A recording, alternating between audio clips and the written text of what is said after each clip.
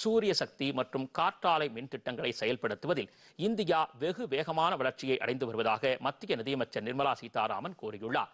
மும்பையில் நடைபெறும் உலக ஃபின்டெக் மாநாட்டில் காணொளி மூலம் உரையாற்றிய அவர் புதுப்பிக்கத்தக்க எரிசக்தியை மேம்படுத்தும் உறுதிப்பாட்டுடன் மத்திய அரசு வேகமாக முன்னேறி வருவதாக தெரிவித்தார். இயற்கை எரிவாயுவுக்கு அதிகமாக செலவழிக்க வேண்டியிருப்பதால் பல நாடுகள் நிலக்கரிக்கு திரும்பியிருப்பதாக அவர் கூறினார்.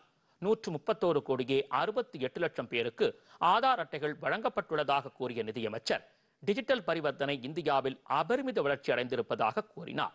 சிங்கப்பூர் பூட்டான் உள்ளிட்ட நாடுகளில் இந்தியாவின் ரூபே அட்டைகளையும் யூபிஐ பரிவர்த்தனைகளையும் மேற்கொள்வதாக கூறிய நிர்மலா சீதாராமன் அனைவரையும் உள்ளடக்கிய வளர்ச்சிக்கு இந்தியா வழிகாட்டி வருகிறது என்றார். Energy source, transitional energy source to be derived from natural gas. We were moving very fast on solar and wind energy, renewable energy.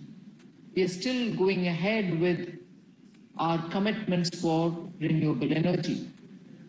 But the transitional energy source, natural gas, has become more expensive. And not just for India, for every country in the world, that many countries are going back to coal. India also will have to get back to coal at least somewhat so that we are able to keep the base level of our energy requirement sustained.